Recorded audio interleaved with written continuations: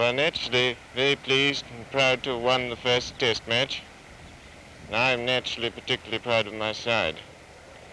We shall not suffer from overconfidence because we've won the first round of what I'm sure is going to be a magnificent series.